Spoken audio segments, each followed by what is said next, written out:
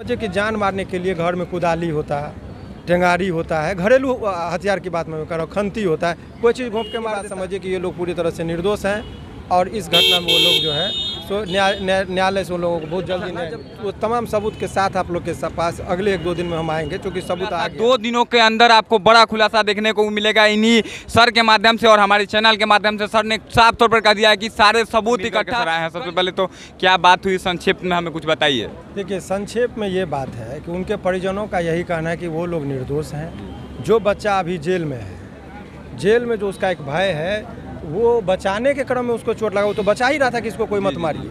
काफ़ी ज़्यादा चोटें आई छोटी आई है जो आप देखें उसका भाई ये है इनके दादी को भी मारा पीटा गया। जी, जी। तो भाई इनके तरफ़ से क्या कंप्लेन लेने वाले कोई नहीं उनके घर में डकैती हो गया वो लूटपाट मचा दिया। दो बजे रात में घर में कोई घुसेगा तो उसको कोई आरती तो नहीं उतारेगा। पूरा मॉब लिंचिंग का मामला हुआ और इनको यदि साजिश होती मारने का जान मारने का यदि नीयत से उसको मारा गया होता। तो आप समझिए कि जान मारने के लिए घर में कुदाली होता है टेंगारी होता है घरेलू हथियार की बात मैं कर रहा हूँ खंती होता है कोई चीज़ घोंप के मार देता है। अरे जान मारने का कोई इरादा नहीं था ये बेवजह इस मुकदमे में जो है ना सो निर्दोष लोगों को फंसा मीडिया के मीडिया के पास पोस्टमार्टम रिपोर्ट की कोई जानकारी ज़्यादातर अभी नहीं है हालाँकि लोग अपवाद बात लेकिन आपको कहीं ना कहीं पोस्टमार्टम रिपोर्ट की भी जानकारी मिली होगी आप उनके परिवार के संपर्क में तो पोस्टमार्टम रिपोर्ट में किस तरह की बातें सामने आई? डॉक्यूमेंटेशन की बात है इतना ही आप देखिए डॉक्यूमेंट्स और सबूत की जो बात है ना वो कोर्ट में पेश की जाती है। अभी हम बोल देंगे तो बहुत चीज़ वो, वो हमारे लिए उनको बचाने में फिर हमको कठिनाई होगी ना। तो वो हम आपको नहीं बता सकते लेकिन इतनी बात समझिए कि पूरी तरीके से झूठा एलिगेशन लगाया गया था इसका पर्दाफाश हो गया है क्योंकि वो हकीकत बात है कि उनके जो आरती के भाई साहब जिनके ऊपर इल्ज़ाम लग रहा था वो तो बचाने के क्रम में खुद घायल हो गया।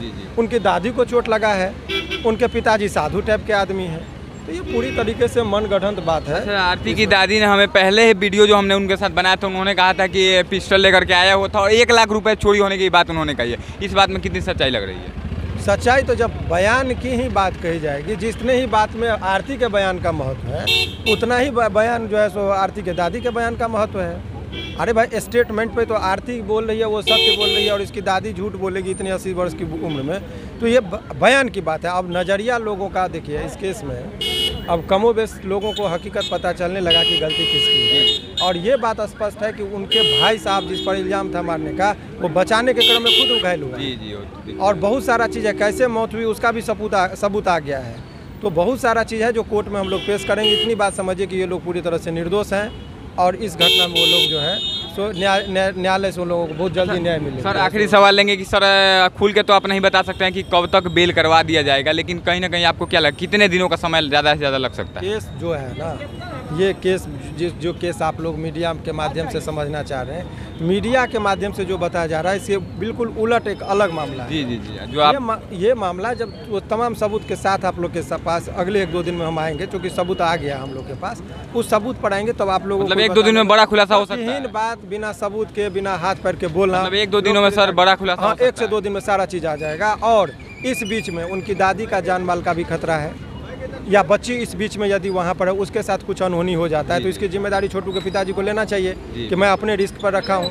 क्योंकि कल को कुछ यदि होगा तो इन लोग ये लोग बदनाम होंगे। तो इसीलिए इसके लिए भी एक इन्फॉर्मेटिव पिटीशन दी जा रही है कि यदि आरती रह रही है अप, अपने वो छोटू के पिताजी हालाँकि कोई रिश्ता नहीं है। न शादी हुई है न विधवा है न कुछ है। फिर भी यदि वहाँ पर वो रखा जा रहा है तो कुछ भी होगा तो इसकी ज़िम्मेदारी छोटू के पिताजी का होगा इसके लिए एक इन्फॉर्मेटिव पिटिशन जो है सो डाला जाएगा। फिर अपने रिस्क पर रखे वो कि कल को क्या होगा तो वो जाने।